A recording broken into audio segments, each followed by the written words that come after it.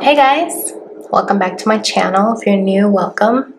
This is Bella with Bella and the Phoenix. This is going to be a quick one because I have people coming over to fix some stuff in my house. So, um, but yeah, I just wanted to come on here and do a quick reading for the collective for the Divine Masculines. And we're going to check on the karmic.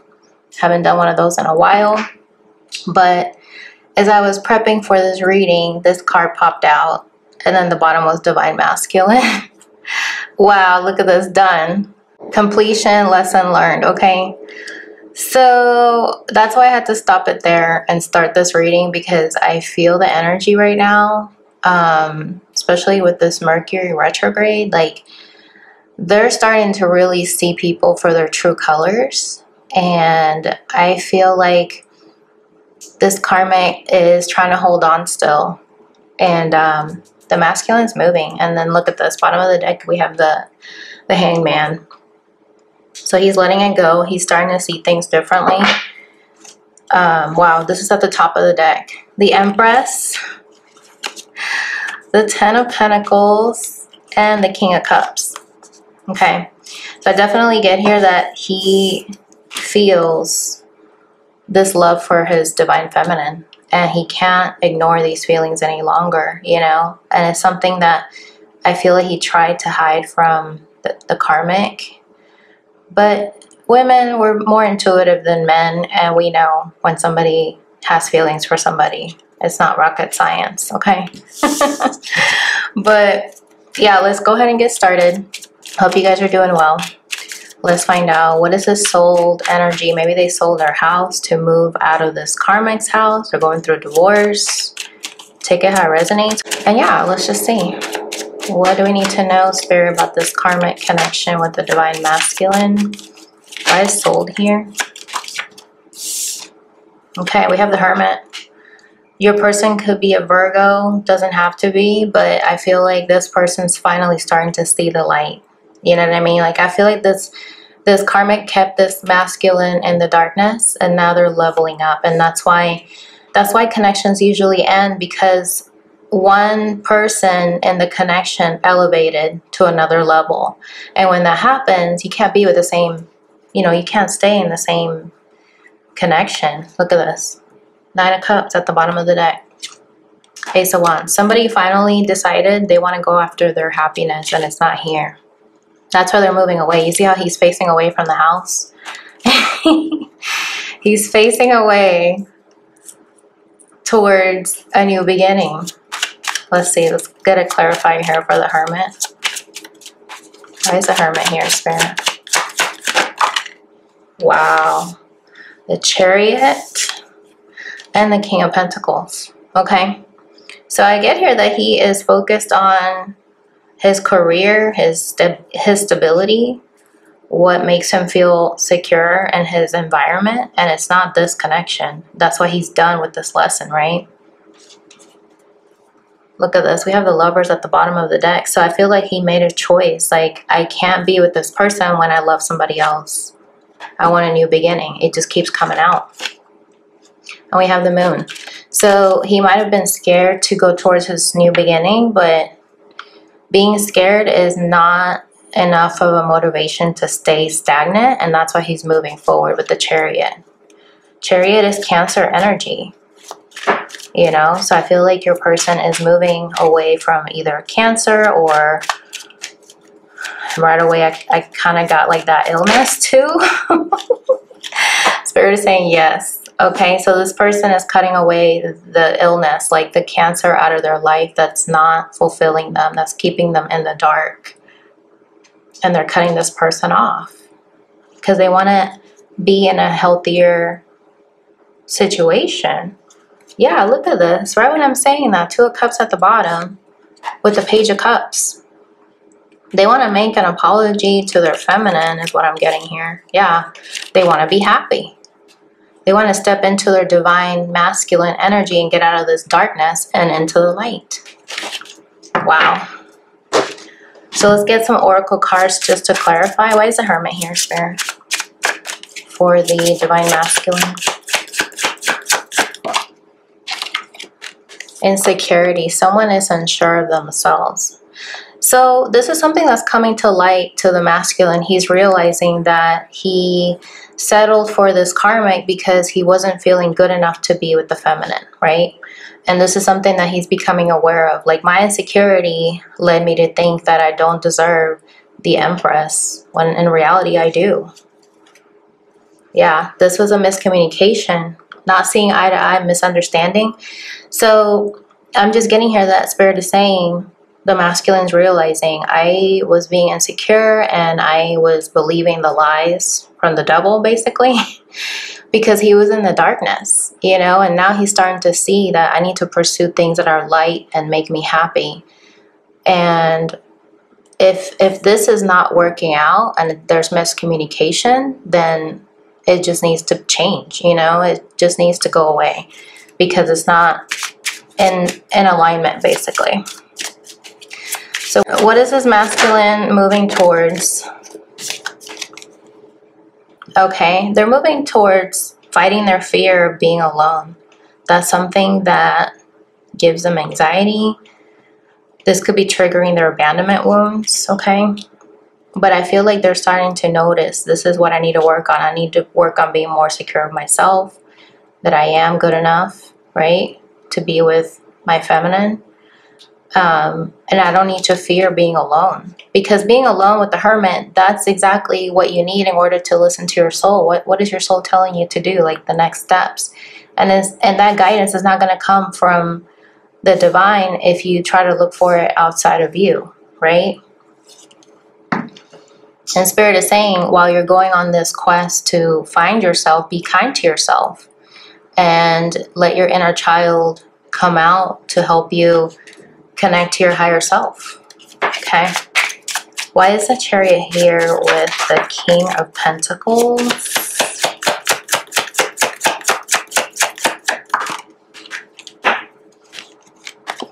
Ignorance.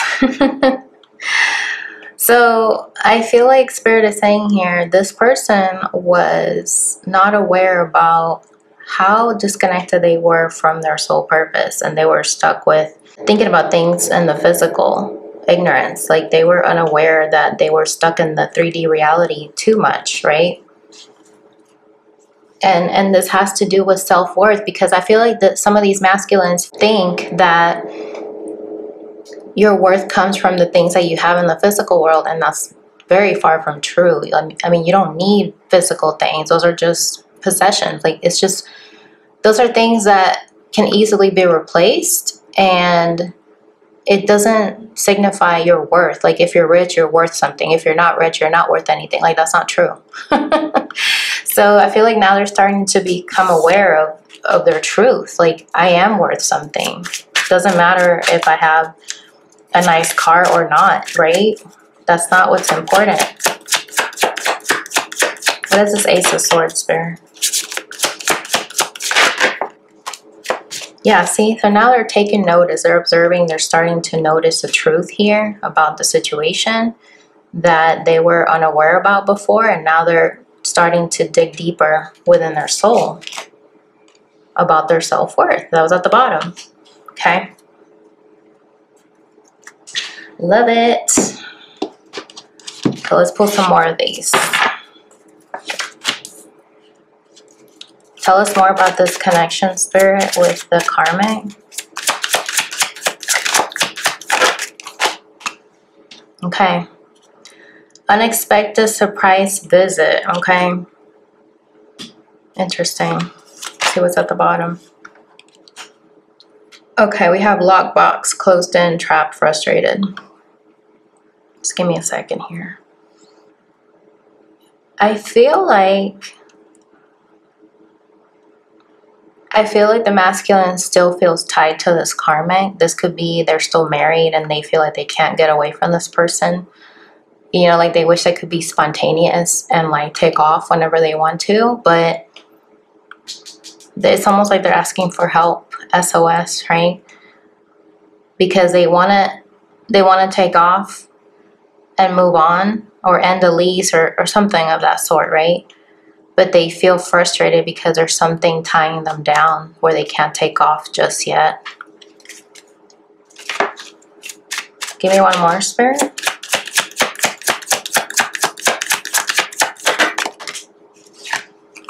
Gossip came out. So this has to do with also with people in their life. I feel like they're starting to notice that the opinions of others are weighing them down and that's that could keep them in that frustrated energy where they can't they feel like they can't move forward because what are people going to say? But i'm getting here that something's going to come about something's going to come out like some gossip some rumors going to come about that's going to help this person finally free themselves. Okay. Let's get one more like the truth will set you free. You know what i mean? Like that's what i just heard from spirit. And i feel like this masculine is waiting for that for that truth to finally come out. Something's going to come out uh, through the grapevine that's going to set him free. That's going to give him that justice. Look at that we got synchronicities right?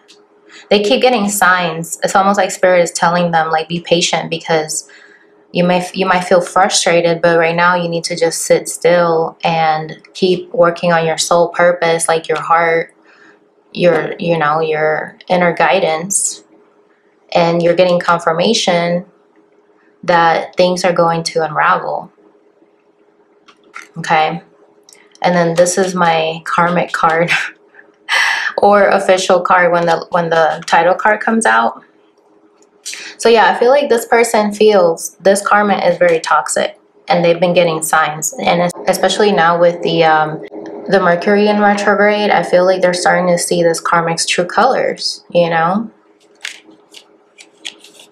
Yeah, they're trying to get away from this karmic.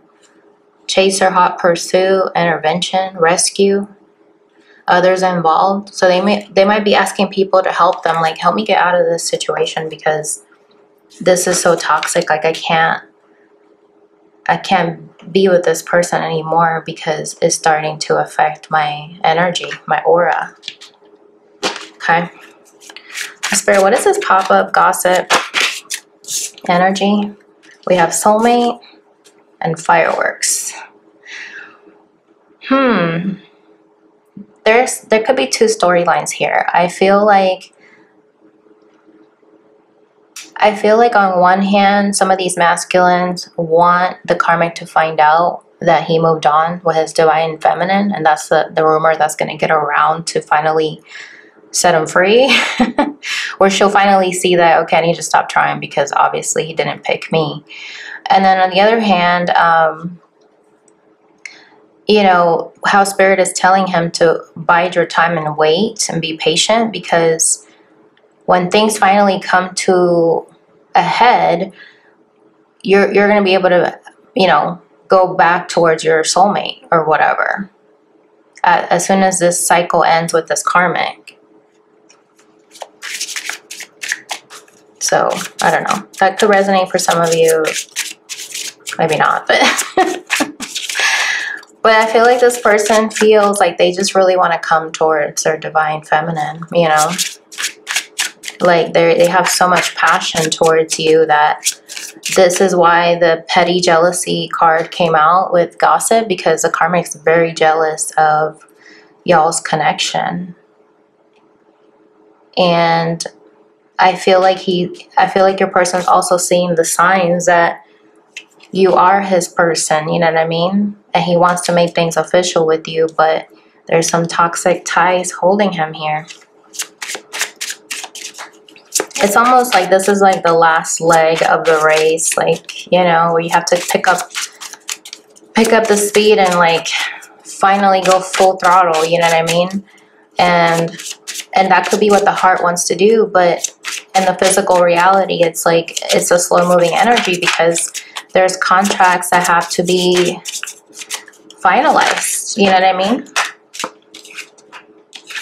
Yeah you might be wanting to you know rush and be careless and just go after what you want but that that's not going to be a good energy to be in because it's not it's not well thought out is what i'm getting Yeah. So you might be on the fence. Someone is unable to make a decision, right? Exactly, because they feel tied.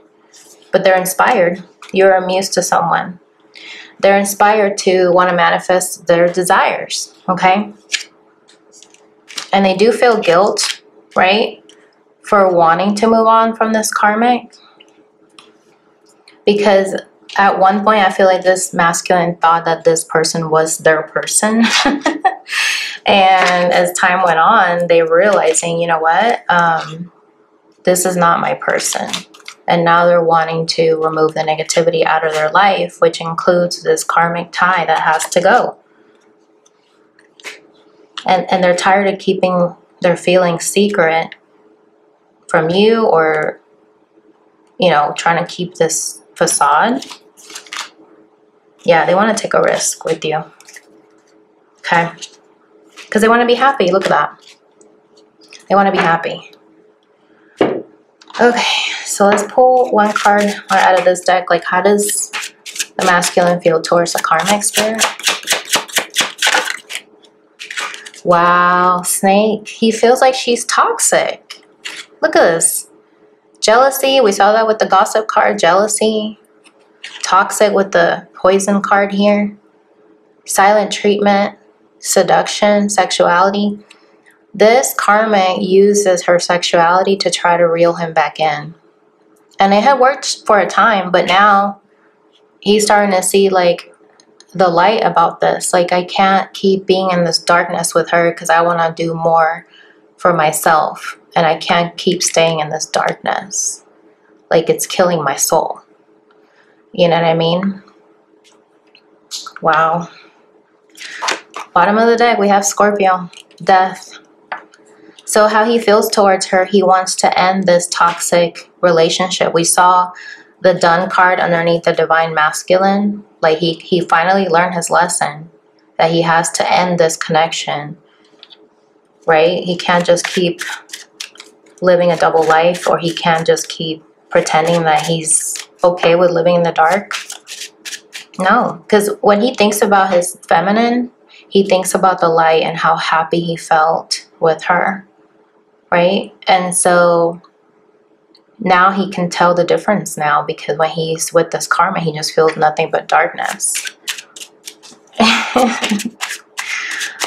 I mean, that's that's what's coming out. I'm just reading the cards here, guys. okay, so how does he feel towards his feminine? Fireworks came out again. In this other deck, we saw the fireworks come out, right? In this deck where to go. Um, yeah, see? There is intense chemistry here, and it came out with soulmate, right? And that's confirming what I just said. This person wants to be with you, especially during the holiday season. They're going to come in hot. And you guys are going to celebrate together, being back together, celebrate a divorce. for some of you. Wow. Look at that. Because this person finally sees marriage different. You hear that? That was confirmation from spirit. Ding ding. Like you're, you're right on the money. Wedding bells. That's what I'm hearing too. So I feel like some of you might get an engagement. Okay, you might get into an engagement here. Your person finally sees the light you're like that firework in the darkness when they think about you. And they're like, I want that again, you know? I gotta break away from this traditional programming. Look at this. Ten of Swords with the ship. This person's gonna move out of that old mentality and come towards you because they want to go on a vacation with you. They want to go on a honeymoon, you know, go overseas, go on an adventure, right? Catch up. And this karmic, sad to say, but this is done. This was a very short-lived energy. It was not meant to last. And and yeah, I mean, that's what's going on here. I feel like it's getting to the down to the wire where this masculine is realizing I got to change. If I want my life to be different, if I want to be happy, I have to do what's right for me. And it's not playing pretend with this person. This is fake. This is a really fake energy. And when he realizes that fake relationships are not fulfilling, I can't talk today. Then he's going to cut it off. Look at this. I can't make this up. Wow. Right when I'm talking about this, death is about endings, right? And here we go. Confirmation again. Spirit always confirms. And this might be a shock to this person, but it's a reckoning. This was not meant to last. It was meant to be a lesson, okay? It was just meant to be a lesson, a lesson learned. Because now everything is happening as it should have. Wow. And I think again, I mean, Spirit is saying, yes, you're right on the money. Every time it dings, that's like, that's confirmation, okay?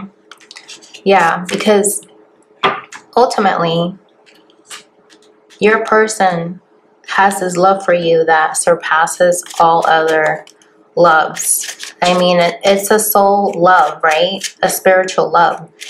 And anybody that comes after your twin flame is just a lesson. And it's also why a lot of divine feminines don't end up with a karmic because they already learned their lesson with the masculine. And a lot of them will stay single because they don't feel like they need anybody. Okay. So what is this? Why is this here, Spirit? Okay, we have get more information. Research documents, examine the fine print, important details. I'm getting here that your person wants to make sure that when they come back to you, that they don't have anything else hanging over their head, you know, no contracts, nothing that they haven't tied up that loose end to get in the way of this next chapter. Wow, right when I'm saying this next chapter, thank you, Spirit. Confirmation. because they want this new beginning with you. They want to make sure that when they come towards you, it's taking this long because they have to tie up those loose ends in order to have this new chapter with you. And you guys might have a bunch of babies here because we have three rabbits. You might be doing it like rabbits, you know, I mean, wow. It's just it's just like confirmation. Spirit is saying you guys have luck on your side because rabbits remind me of good luck also, right? You guys have luck on your side. Look at this green energy.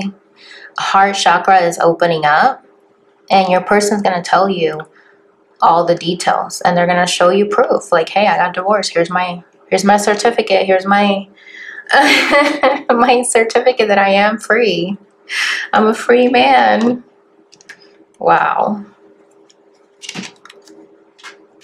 And look, I just put the deck and we have realization and, and financial government. Okay. Yeah, so in the future, your person is going to escape because they're ready to explode and they're going to show you proof, the receipts. Okay. Can't make this up. Wow. So yeah, guys, that is your reading. I hope that was helpful. Comment below if this resonated and I will catch you guys in the next video. Bye!